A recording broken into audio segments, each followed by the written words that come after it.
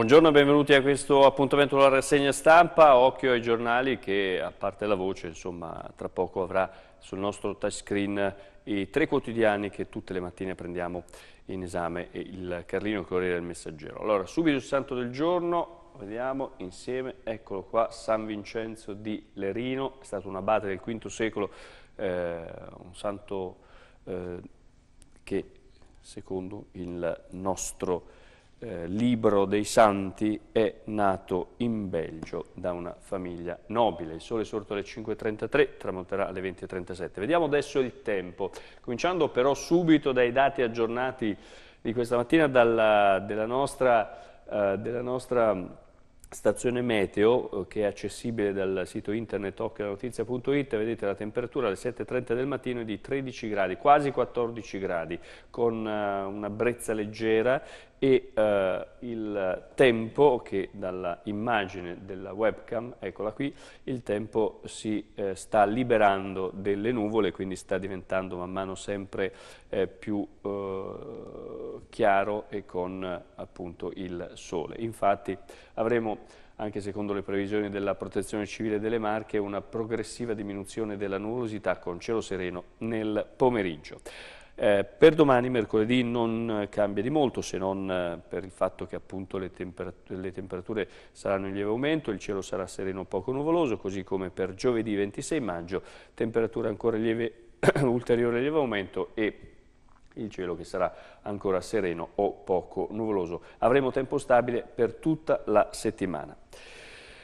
Allora, questa mattina i giornali naturalmente dedicano spazio alla tragedia eh, di Fossombrone, quel bambino di tre anni che è morto in un incidente stradale mentre era in viaggio, seduto sul suo seggiolino, insieme alla mamma stavano tornando dal mare. Ne parlano i tre giornali andiamo a subito a leggere dunque eh, la pagina di eh, Fossombrone, la pagina di Peso Urbino del Corriere Adriatico. C'è anche la fotografia, anzi due fotografie del piccolo Chris del Tutto, del Tutto è il cognome. Il titolo spunta l'ipotesi del seggiolino difettoso, il piccolo Chris era ancorato alla seduta sul sedile posteriore, ma qualcosa non ha funzionato.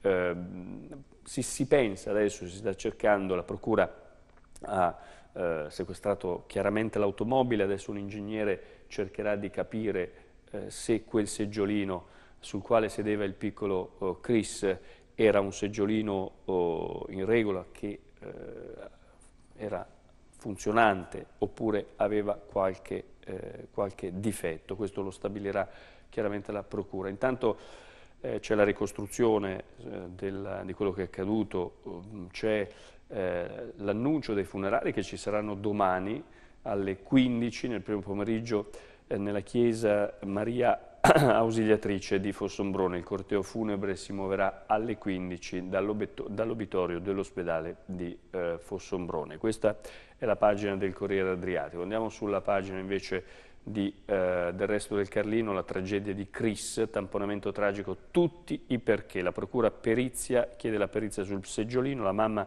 ed il piccolo stavano tornando a casa dopo il mare eh, in quel tratto di superstrada dove è accaduto l'incidente da due anni c'è un'unica corsia perché ci sono i lavori in corso, lo vedremo tra poco.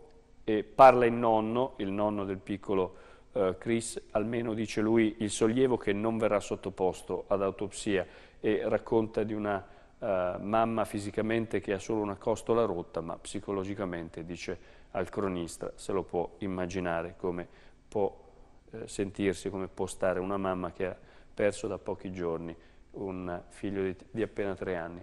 Quei lavori infiniti al viadotto sul Metauro. L'ANAS spiega, secondo la tabella di marcia, buona parte dell'intervento si concluderà nel mese di giugno.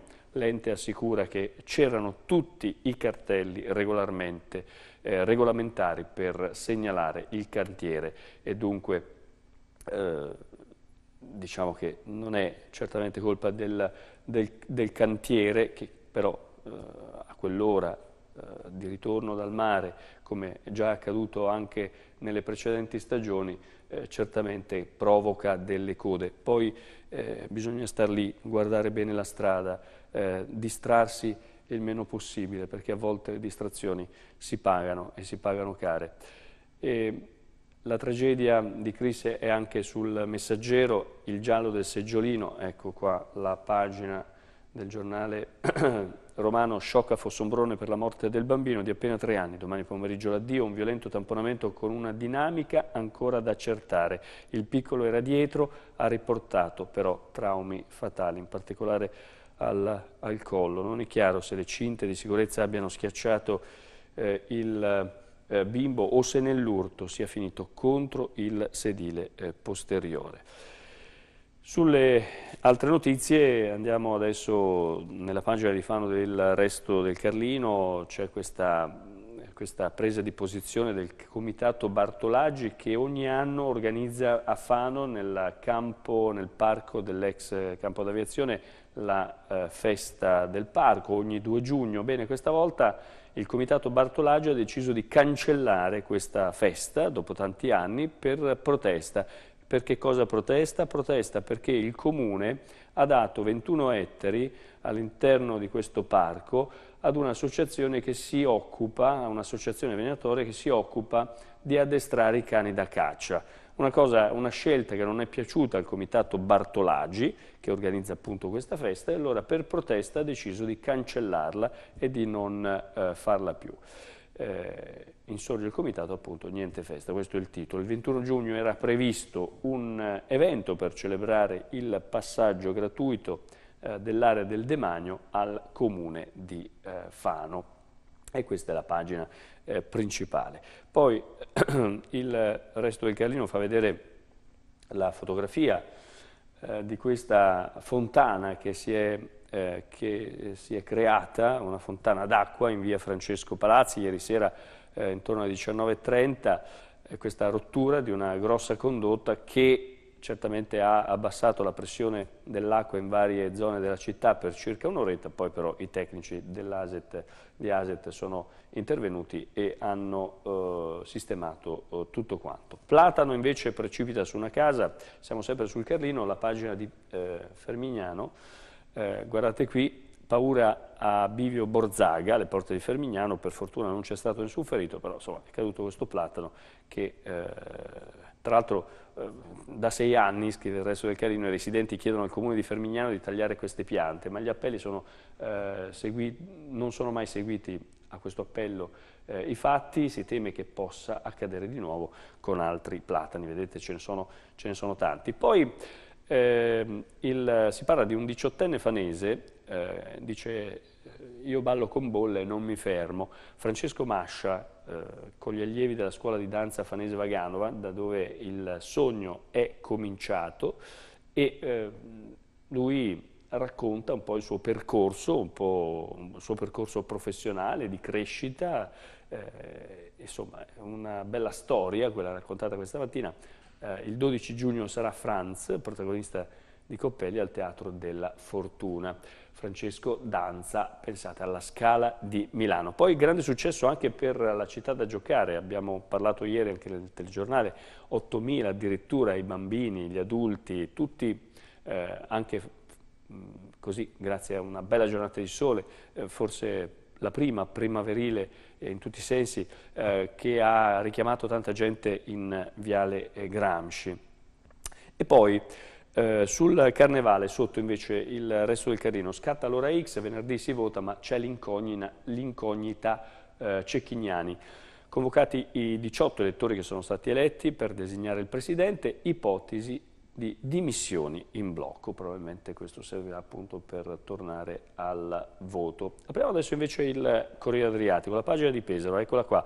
Aria di bilanci, la lunga cavalcata di Ricci, il sindaco. Prosegue la striscia di lavori e inaugurazioni in vista del consultivo di due anni da sindaco. Intanto vedete la nuova fioriera eh, al centro di Piazzale d'Annunzio e sotto l'istituto alberghiero che sarà consolidato e, e quindi eh, verrà eh, definitivamente eh, risistemato. Andiamo adesso invece eh, sulla, sulla, pagina di Fano del Corriere. Dopo il pasticcio inciucio all'ambito sociale. Mandolini rinuncia per una probabile conferma a Senigallia, via libera a Gianmarchi o Simoncelli. Oggi eh, riconvocati i sindaci per la scelta di un nuovo coordinatore, il ruolo del PD eh, in tutta questa vicenda e malessere, il malessere degli altri, eh, degli altri comuni. E poi eh, lui che annuncia, eh, prometto, la sinergia con eh, Senigallia.